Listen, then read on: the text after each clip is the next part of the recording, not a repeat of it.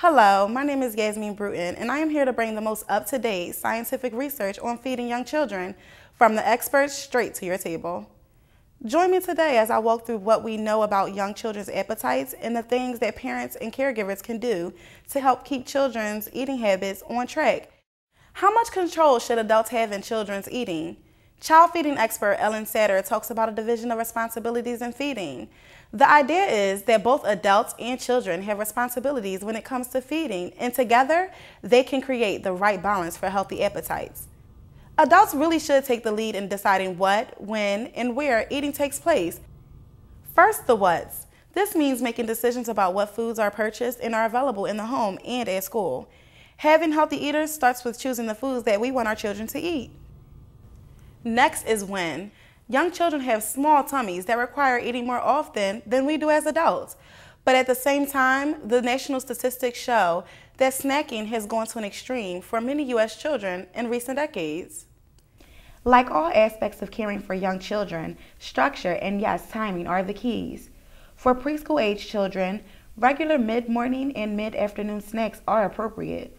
More frequent snacks can lead to grazing, where children start eating more of their calories from snack foods and less of other, often more nutritious foods at meals. This also can happen when snacks are offered too close to meals. Research shows that when children eat or drink just before lunch or dinner, they actually eat less at the meal. And it is usually less of the foods they like the least. So you guessed it, snacks too close to meals means that kids will eat fewer vegetables at the table.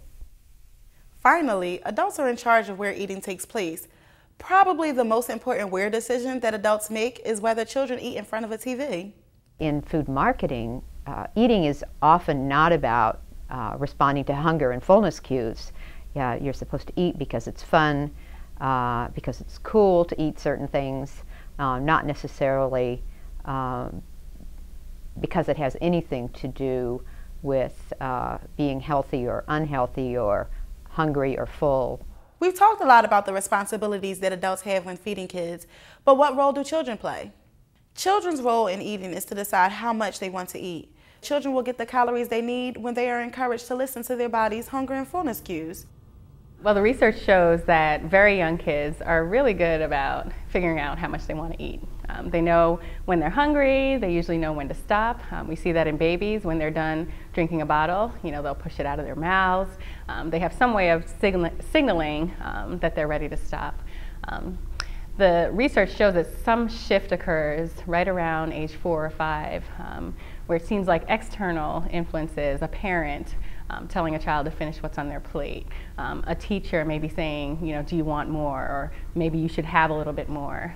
Let's talk about vegetables. At some point during the meal, we realize that everything else is being eaten, but not the vegetables. So what do parents and caregivers often say? Jesse, I need you to finish your broccoli. I don't want any more. Well, you're not getting any dessert if you don't finish your broccoli, bud.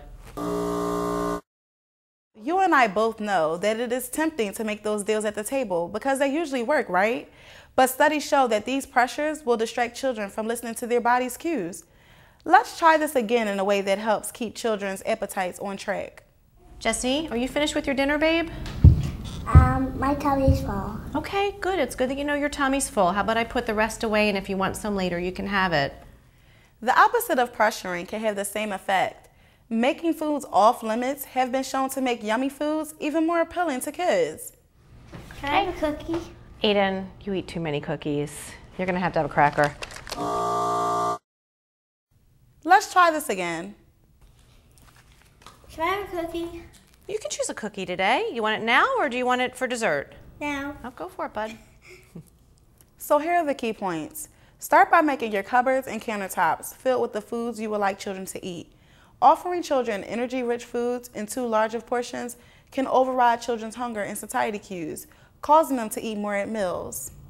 Offer foods at regularly scheduled snacks and meals. If children drink juice or eat snacks too close to mealtime, they will eat less of the foods they like least on their plates, which is typically fruits and vegetables. Talk to children about hunger and fullness at the table. This helps children make connections between their cues and eating. So caregivers um, really focusing kids on listening to their bodies with questions as simple as, um, what does your tummy feel like? Um, if you can see inside your tummy, would it be full? Would it be empty? And just really using these questions to have kids really think more about what their bodies are saying as opposed to thinking about it's time to eat, you will eat regardless of whether you're hungry or not. Let children know that it is up to them to decide how much is enough.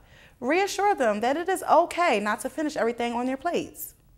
It's important to start early in allowing kids uh, the space to tell us if they're hungry or full, uh, to provide them with the foods that we want them to eat, um, allow them to explore those foods, um, you know, really set the constraints, but allow uh, the child to make the decisions about um, how much and whether to eat in a particular context. Thank you for watching, and remember, eat well and be well. And if you would like more information on this topic, please visit www.eextension.org.